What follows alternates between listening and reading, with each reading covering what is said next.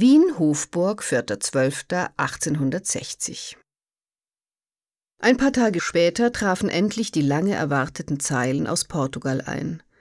Und man konnte nun sicher sein, dass Kaiserin Elisabeth Madeira mit ihrer Gefolgschaft wohlbehalten erreicht hatte. Sisis Ankunft am 23. in Fonjal erfuhren wir am 5. früh durch einen Telegraphen vom 4. von Lissabon.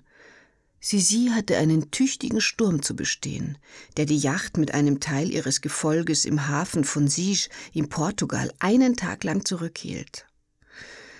Sisis Sekretär Bayer, der mehrere Tage vor Sisi in Funchal eintraf, schrieb von dort seiner Frau, er glaube, sich in einem schönen Traum befangen zu finden. So bezaubernd ist die herrliche Insel mit ihrer wundervollen frischen Vegetation, ihrer Fülle von Blumen aller Gattungen und von den glühendsten Farben.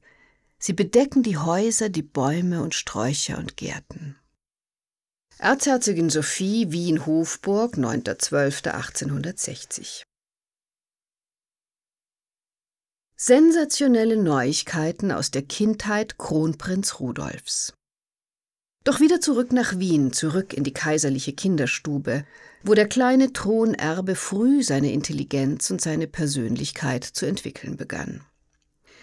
Interessant ist es auch in den meisten Briefen herauszulesen, dass der Kronprinz damals sehr wenig Bindung zu seiner Mutter hatte.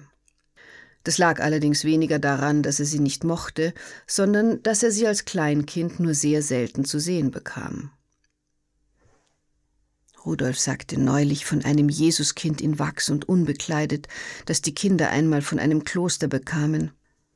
Armes Jesuskind hat kein Hemd und keine Kinderfrau.